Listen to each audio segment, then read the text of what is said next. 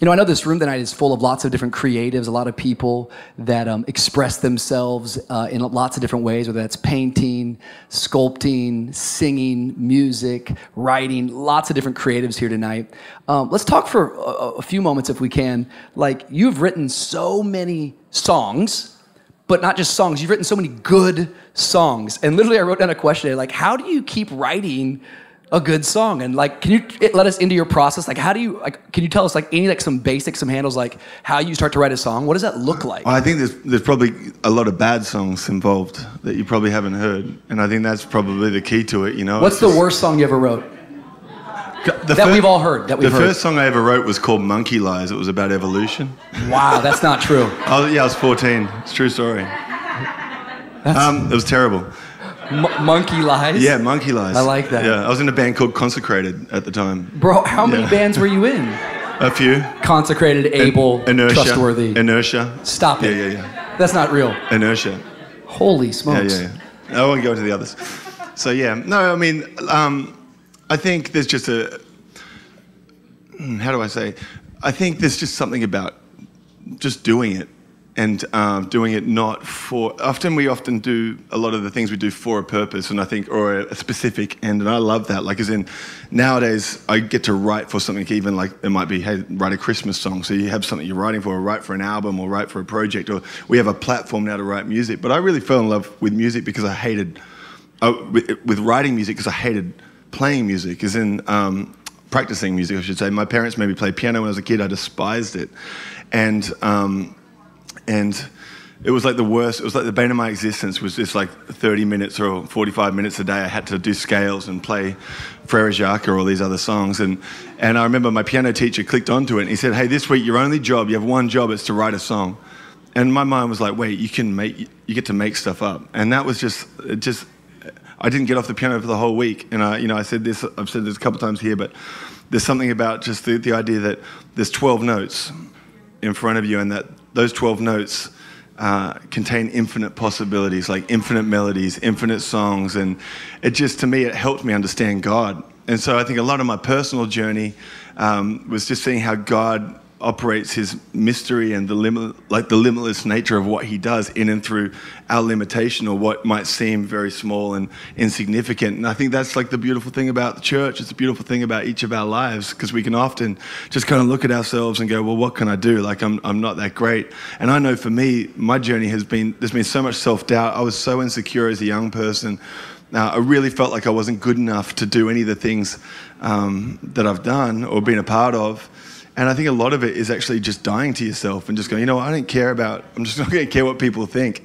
And um, one of the big challenges as a pastor's kid too is when you do something as a pastor's kid, I kind of felt like everyone would be like, uh, he's just doing that because he's the pastor's kid. And it's like the smallest thing, like it seems so stupid, but it was a massive deal to me, you know? And so I just remember these moments, again, defining moments where it was like one time I just felt like God spoke to me and, and just said, hey, just walk in your own shoes. Just like, just don't be afraid, just walk in your own shoes, you know? Like, and as simple as it was, it was like at the time I was like wearing my dad's Jordans because they were, and they were like four sizes too big for me. But they Your were dad cool. had Yeah, because I was trying to impress people. He did, yeah. Wow, that's My dad was a pretty cool guy. Yeah.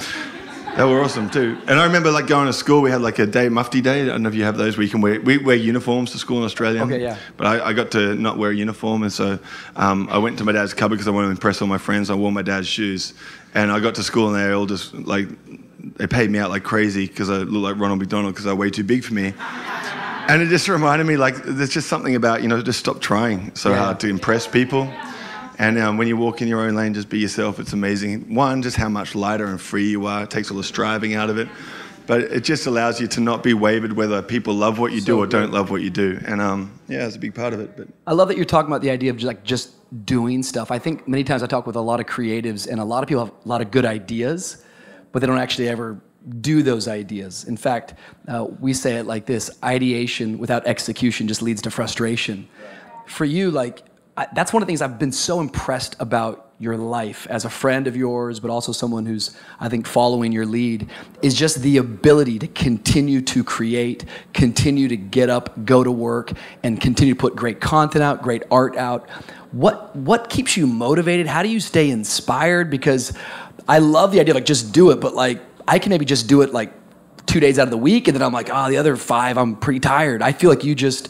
Is there anything that you could share with us in terms of what motivates you, what inspires you to keep working the way that you do? Well, I think for a lot of us, well, for me, a lot of it was just dissatisfaction. So it's this sense of, man, like things need to be better, or we can do it better, or we can present this better.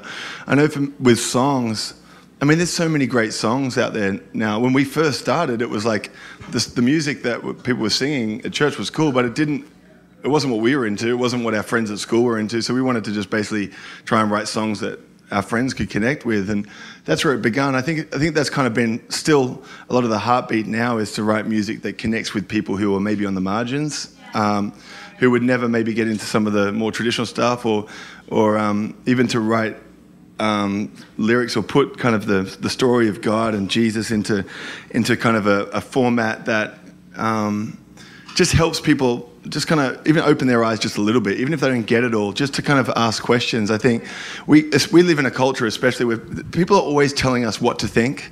Um, even in church, you know, so much preaching is like, do this, do this, do this, do this, do this, and your life will be awesome. And I think for any of us who've been around for more than two minutes, we know it's not that simple. Like life is complicated.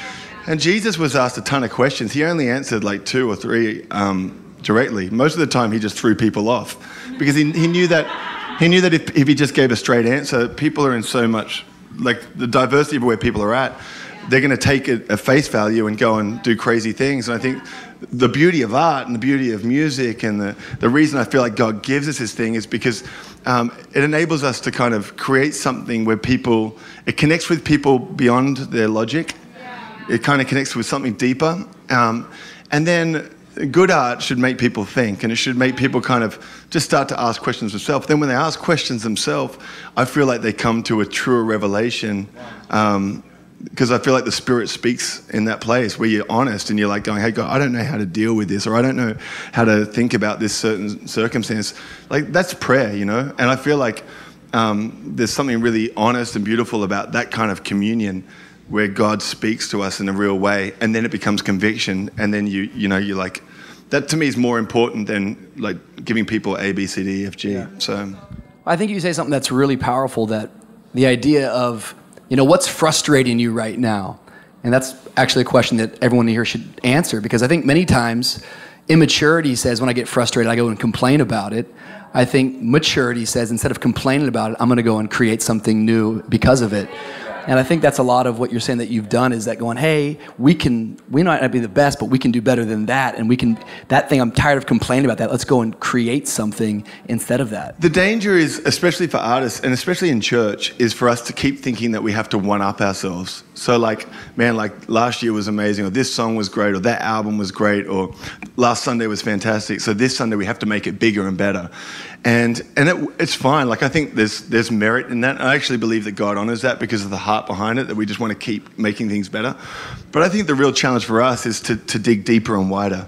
And and, and what I mean by that is is for us to like be using um, be chasing like deeper foundations in what we do like whether it be going deeper in the word whether it be like deeper in our own revelation or deeper into like the real issues and fabric of the real issues within the fabric of society and what people are struggling with and because god is at the end of every single one of those questions and i feel like if we're willing to go there like it's like roots. I mean, it's a classic thing, but if you dig your roots down deep, you know, then I feel like the tree is stronger and the branches spread wider and the fruit is better. And so I think if if we can think that way, because I, I feel the challenge often to be like, all right, well, how are we going to make a better album than that? Or how's the tour going to be better than the last one? Or how, you know, and it, honestly, it leads to this place of striving, and I think it's for all the wrong reasons. Is it because we're trying to impress people or impress God, or trying to be better than something else, or is it trying we're trying to be like compete with the stuff that we're seeing, you know, maybe in the world that is like blowing everyone's minds with like a, a millionth of the resource? And I think there's there's there's a power to that, and we'll keep doing it. But the real challenge, personally, is to actually be digging deep yeah. and to making sure that our net is wide, that our arms are spread wide, that we're not just kind of like going, hey, let's just feed this like you know, minimal kind of, we could, there's our audience. Like I know for me with United, it'd be so easy to give the people what they want. Um, really, really easy, to be honest. And sometimes it's tempting because, because the, it, it can be a battle, like finding that new thing. And, and I've just always felt like, um, I guess as, as a personal conviction that I'm just not going to, I'll die trying to find something new that's going to mean something to someone who's on the margins more than settle for just kind of, I guess it's, um, feeding the sheep that are right here, you know? And I know we've got to feed the sheep, and so that's part of the challenge, but we also got to chase the one. And and I think I think you know all of us are called to that, and there's a time where it's like we've got to focus on the main thing, but there's also a time where we have to be prepared to like leave everything behind even lose everything if need be to chase the one. And it defies logic. It doesn't make sense, but the gospel doesn't.